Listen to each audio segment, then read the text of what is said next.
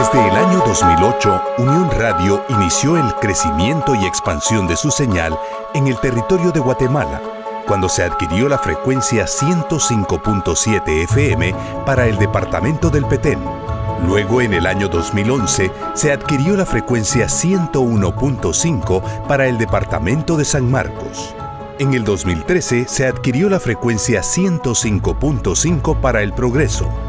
Luego vinieron la 104.3 para Escuintla, la 95.1 para Zacapa y la 94.7 para Alta Verapaz que se adquirió en el año 2021. Para Orión Estéreo en el 2016, la 102.9 para Huehuetenango y en el 2022 se compró 95.5 para el departamento de Quiché.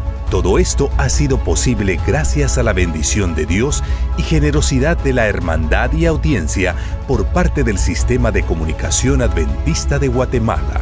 Por ello, hasta la fecha nuestra iglesia cuenta con 10 frecuencias de FM transmitiendo el mensaje de los tres ángeles.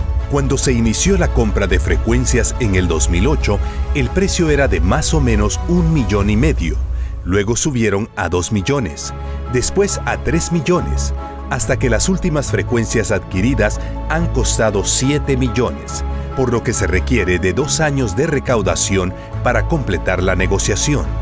Para este año 2023, la meta es recaudar mínimo 5 millones para poder cancelar la frecuencia de Quiché y con el excedente adquirir nuevos transmisores para mejorar la señal de varias repetidoras, tanto de Unión Radio como de Orión Estéreo.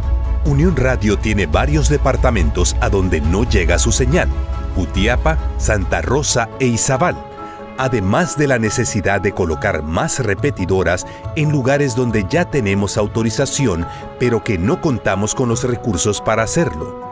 Por ello, apelamos a la generosidad de nuestros ángeles de esperanza para que cada año nos sumemos más a la iniciativa de ser ángeles de esperanza en acción, dando un quetzal diario para tu radio.